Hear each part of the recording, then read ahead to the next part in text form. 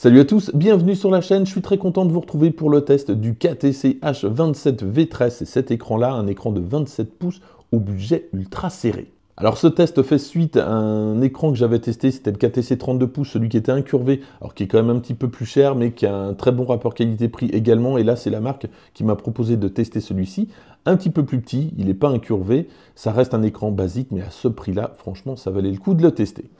Alors si vous n'avez pas envie de mettre très cher dans un écran, je pense que celui-ci peut être euh, un bon compromis. Alors on m'a posé la question euh, notamment avec le 32 pouces, euh, qu'est-ce que ça vaut euh, par rapport à un écran d'iMac? Alors vraiment, ça n'a rien à voir. Hein. L'écran d'iMac est ultra bien calibré. Euh, c'est pas du tout la même définition. mais on n'est pas du tout dans la même gamme de prix. 27 hein. pouces, un chez Apple, bah, c'est 10 fois plus cher. là, on a quand même un très bon compromis. J'avais testé un LG il y a quelques temps que, j'avais acheté, je crois, il y, a, il y, a, deux ans, qui était de 32 pouces, il me semble, quelque chose comme ça qui coûtait 300, 300 euh, euros à peu près. Franchement, l'image était affreuse, j'étais très déçu. Et euh, lorsque j'ai commencé à tester les KTC, euh, je me suis dit, là, on a quelque chose de moins cher, avec une meilleure définition. Donc, c'est le, rapport qualité-prix est vraiment là par rapport à d'autres marques. Mais c'est vrai que c'est compliqué de trouver le bon écran.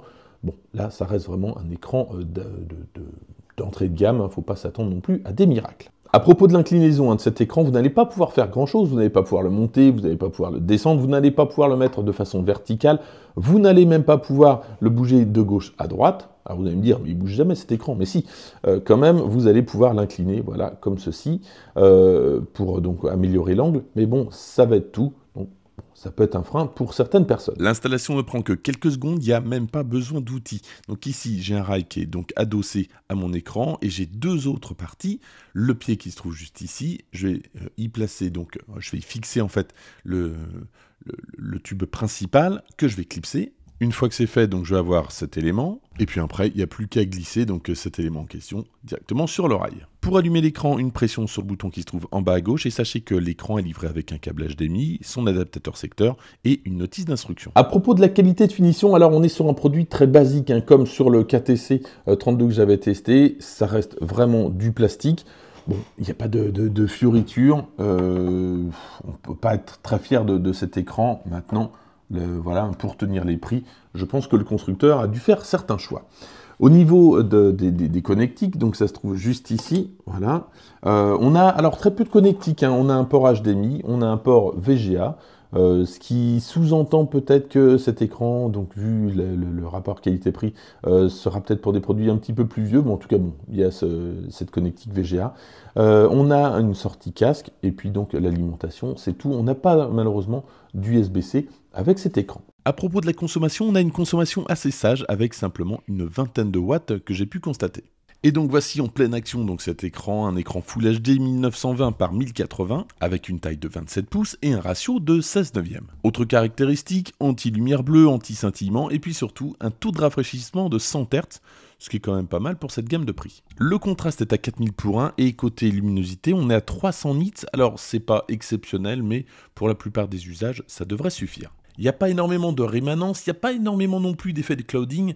Euh, par contre, ce qui manque un petit peu, bah, c'est les, couleurs. Je trouve que les couleurs ne sont pas assez euh, contrastées, assez profondes peut-être, euh, malgré ce qu'explique le constructeur. À titre de comparaison, alors j'ai placé un écran mini LED sur la droite et donc l'écran KTC 27 pouces sur la gauche. Évidemment, on n'est pas du tout dans la même gamme de prix, hein, 5 fois plus cher pour le mini LED. Et d'ailleurs, j'aimerais bien, si j'en ai l'occasion, de tester le KTC mini LED qui est pas trop cher et de voir donc ce qu'il propose.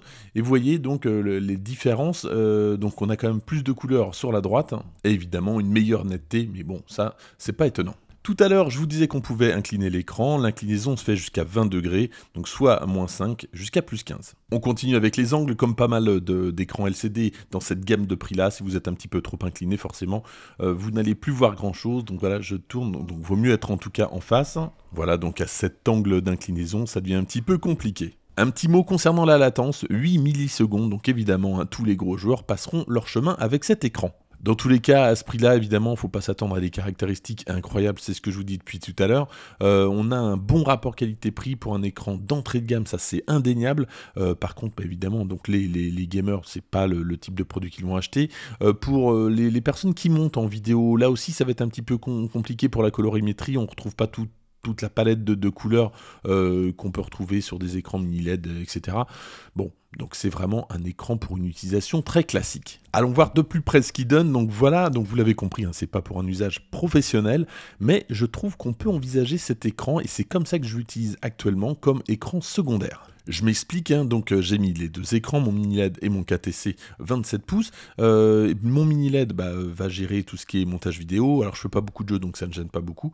Par contre, pour tout ce qui est navigation web ou tout ce qui est mail, en même temps, si j'ai besoin d'être sur, les deux, eh bien j'utilise mon KTC. Donc vraiment, c'est le c'est pas exactement la, même qualité d'écran, mais je trouve que ça suffit amplement pour ce type d'usage. Même s'il n'a pas de haut-parleur, on peut l'envisager en tant qu'écran pour une Apple TV. Évidemment, on n'aura pas de gros noir profond. Lorsqu'on abaisse le, bouton principal, donc on fait apparaître ce menu, donc vous allez pouvoir régler la luminosité, le contraste, enfin tous les réglages. Euh, par défaut, je trouve que c'est plutôt bien réglé, sauf la couleur, donc j'ai un petit peu accentué la couleur qui me semblait un petit peu fade, c'est ce que je vous disais tout à l'heure. Et évidemment, tout ça était en français. Voilà ce que je pouvais vous dire sur le KTC H27 V13. Donc évidemment, je ne peux pas dithyrambique à ce niveau de prix-là, mais je trouve quand même que pour le rapport qualité-prix, pour un écran secondaire ou tout simplement pour un petit écran euh, comme ça d'appoint, si vous n'avez, enfin si c'est plus de la consultation que euh, de, de la création, je pense que ça suffit amplement. Et puis surtout, hein, pour ceux qui aimeraient se faire une petite config Mac pas trop chère, à moins de 1000 euros, pour 700 euros, vous avez un Mac Mini M2. Pour 150 euros, vous le trouvez en promo, donc ça vous fait 850 euros. Vous achetez un clavier, une souris, alors pas forcément Apple, euh, là vous en avez pour moins de 50 euros. Donc à 900 euros, vous avez votre config Mac. Bon, bah, je trouve que c'est quand même pas mal. Si le produit vous intéresse, je vous mets le lien dans la description. En attendant, n'hésitez pas à liker cette vidéo, à la partager, à vous abonner. Et moi je vous dis à très bientôt.